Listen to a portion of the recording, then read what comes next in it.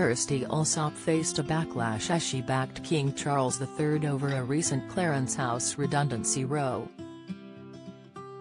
The TV presenter was blasted for her terrible take and dubbed pathetic, as she lent her support to the nation's new head of state following reports dozens of Clarence House staff have been given notice of redundancies, as the offices of King Charles III and the Queen Consort move to Buckingham Palace. Following the death of Queen Elizabeth II last week, up to 100 employees at the King's former official residence have reportedly received notification that they could lose their jobs, as they work long hours to ensure the monarch's elevation to the throne runs as smoothly as possible. The decision to notify private secretaries, the finance office, the communications team and household staff about the fact they possibly face losing their jobs before the Queen's upcoming funeral has even taken place sparked outrage online, with many horrified at the decision. Kirstie, however, took to Twitter on Wednesday, September 14, to offer some nuance to the debate, telling her followers, supposedly it's totally wrong for Clarence House to send letters saying regretfully there will be some redundancies but we'll do all we can to help before the funeral. But it's okay to have a go at the actual person that has lost his actual mum for doing so. Good to know. Journalist Harry Wallop was one of the many Twitter users to respond to the location, location, location presenter's divisive take, telling her, oh, come on Kirstie. It was terrible. Terrible PR, terrible employment practice, terrible on every level. Sure, they may have to be some redundancies, but they should have waited until after the funeral. Would a fortnight's wait have made any difference?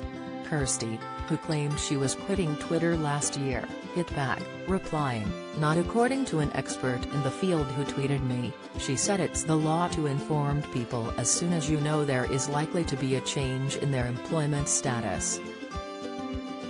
Other Twitter users agreed with Harry, with one tweeting, I think it's incredibly heartless so soon after his death. The staff will be mourning too. This could have waited for another week couldn't it? We're all expected to put our lives on hold, hold our tongues, show respect, funerals, operations and medical appointments cancelled, shops all closed, but sacking all your staff is okay.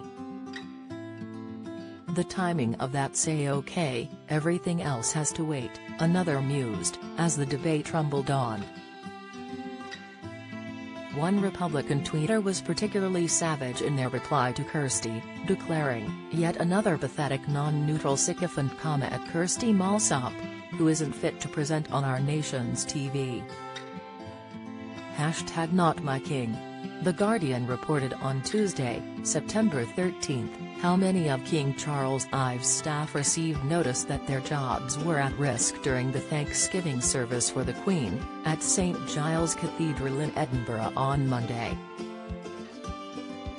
One source said, everybody is absolutely livid, including private secretaries and the senior team,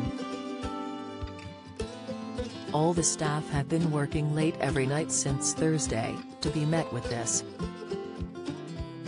People were visibly shaken by it.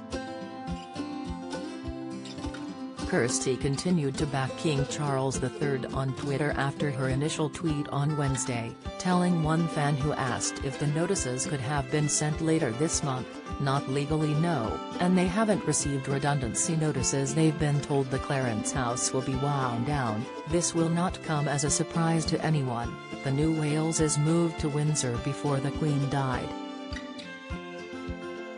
Amid the backlash, some of Kirstie's followers agreed with the presenter, with one writing, from what I can gather, they are following good HR practice, but informing people as soon as possible, giving them maximum warning of possible changes.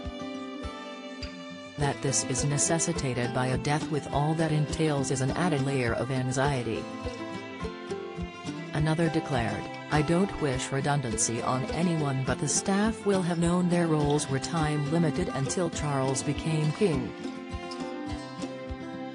Do you have a story to sell? Get in touch with us at webcelebs at mirror